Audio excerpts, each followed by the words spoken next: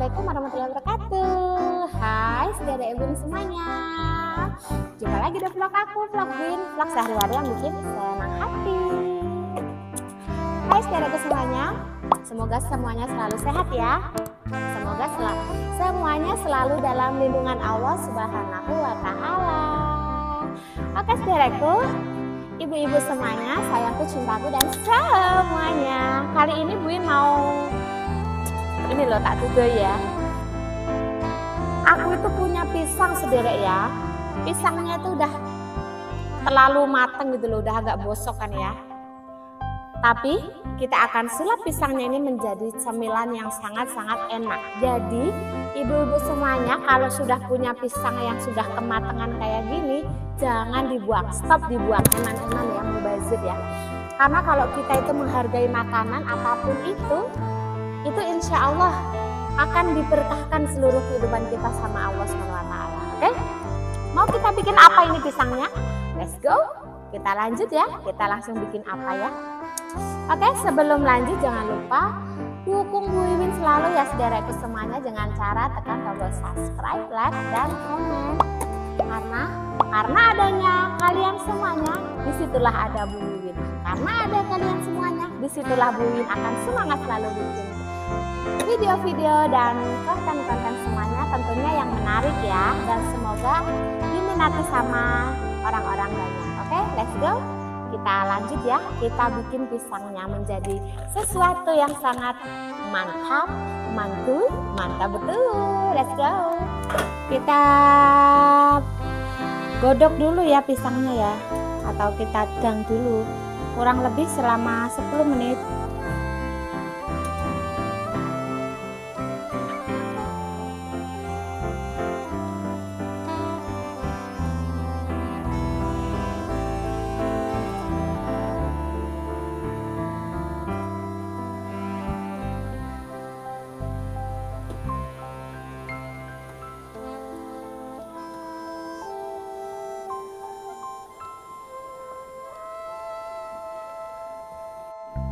setelah kita kukus ya lalu kita hancurkan pisangnya. Seperti ini. Dihancurkan sampai halus ya saudara ya gak terlalu halus juga nggak apa-apa. Yang penting kita hancurkan. Buin membuat pisangnya ini lebih berbeda ya dengan seperti biasanya. Oke. okay?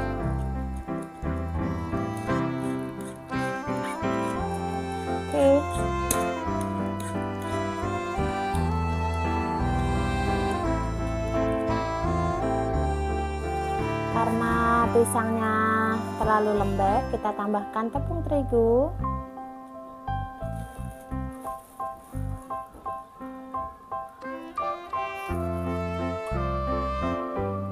Sekitar 3 sendok makan. Kita aduk-aduk lagi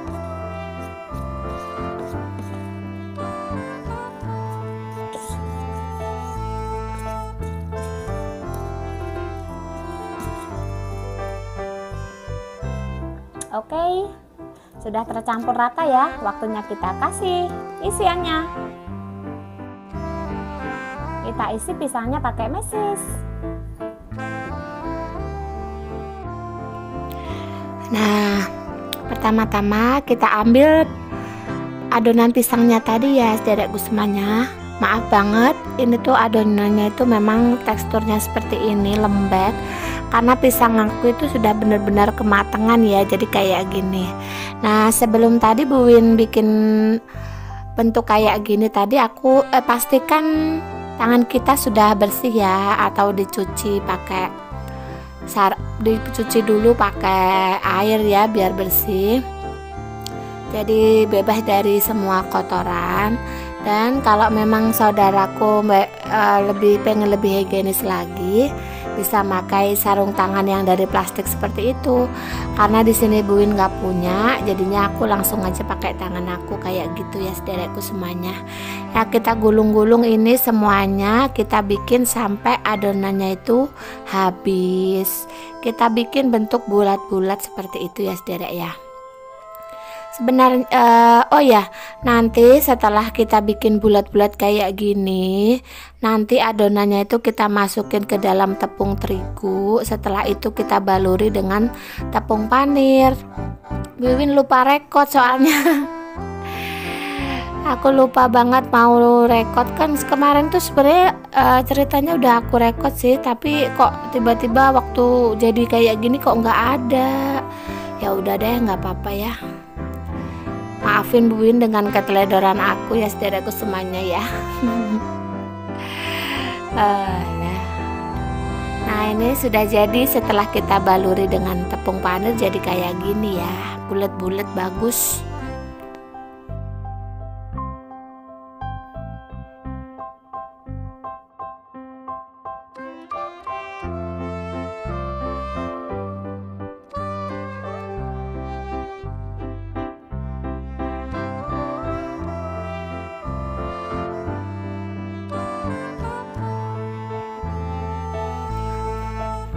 Setelah itu kita siapkan penggorengan karena sudah siap digoreng. Kita menggorengnya pakai api yang sedang-sedang aja ya saudaraku, jangan terlalu panas, jangan terlalu api yang besar. Kalau kita pakai api yang besar itu cenderung cepat gosong ya saudaraku semuanya. Jadi pakai api yang sedang-sedang aja. Kita goreng sampai selesai.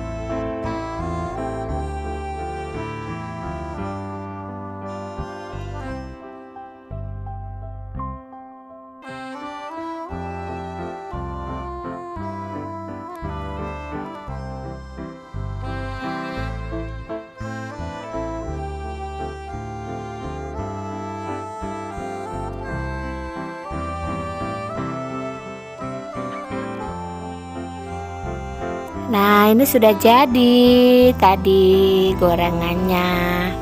Pisang bulat isi coklat ya sederekku semuanya. Ini sudah jadi, sudah siap kita hidangkan untuk keluarga kita tercinta lalu biar lebih enak lagi dalamnya eh atasnya itu kita beri topping susu coklat ya saudaraku semuanya. Tapi ini sebenarnya dalamnya sudah manis karena dalamnya sudah bu, kita isi tadi dengan meses. Kalau nggak suka terlalu manis jadi nggak usah di apa namanya nggak usah dikasih topping lagi ya. Cukup gitu aja langsung dimakan udah enak.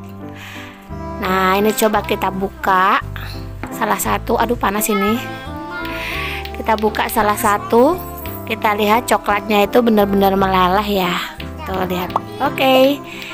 nah itu.